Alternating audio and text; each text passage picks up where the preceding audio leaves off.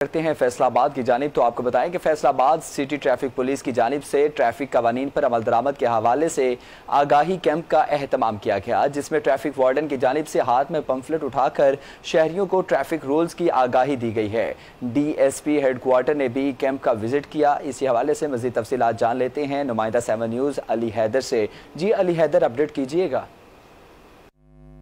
जी बिल्कुल, traffic rule के हवाले से ट्रैफ़िक वार्डन की जानब से महकमा ट्रैफ़िक ट्रैफ़िक पुलिस की जानब से आगाही वॉक का आगाही सेमिनार का इनका किया गया है, जिसमें डीएसपी हेडक्वार्टर और ट्रैफ़िक वार्डन जो हैं वो अपने हाथ में पम्फलेट लेकर शहरियों को ट्रैफ़िक रूल के हवाले से आगाह कर रहे हैं। यहाँ पर हमारे साथ मौजूद हैं डीएसपी हेडक्वार्टर मजीद, उनसे जानते हैं कि वो इस हवाले से क्या कहना चाहेंगे।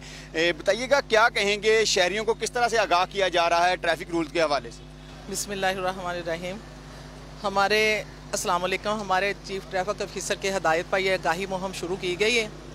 ये लोगों को बताने के लिए हमारे जवान चौकों में खड़े हैं बोर्ड लेके। हम इस सिलसिले में मुख्तलिफ़ कंपेनें चलाते रहते हैं, पफलट भी शाया करते हैं, बैनर्स भी लगाते हैं और इसी तरह बोर्ड भी लगाते हैं चौकों में। और लोगों में ये शोर उजागर करने के लिए, ट्रैफ़िक सेफ्टी के लिए, रोड सेफ्टी के लिए, ताकि ये हेलमेट का इस्तेमाल करें। अब फिर हम एक दफ़ा से फिर कंपेन शुरू, जो कि गाहे बगाहे चलती रहती हैं। हेलमेट का इस्तेमाल करें, मोटरसाइकिल बाई लाइन में चलाएँ, कम उम्र बच्चे मोटरसाइकिल ना चलाएँ और अप्लाइड फार उसको भी हम उस पर बड़े सख्ती से अमल दरामद कर रहे हैं।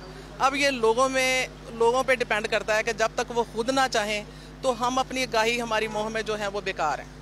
तो ये काइंडली लोगों से रिक्वेस्ट है कि वो इस पर अमल करें और रोड सेफ्टी को यकीनी बनाएँ। जी, बिल्कुल, जैसा कि आपने सुना है, ट्रैफ डीएसपी डीएसपी ट्रैफ़िक हेडक्वार्टर का कहना था कि जब तक लोग खुद ना ट्रैफ़िक रूल्स पर अमल दरामद करेंगे, तब तक ये कंपेन जो है वो बिल्कुल बेकार है। उनका कहना है कि लोगों को भी चाहिए ट्रैफ़िक रूल पर अमल दरामद करें ताकि शहरियों की ज़िंदगी को महफूज बनाया जा सके। जी।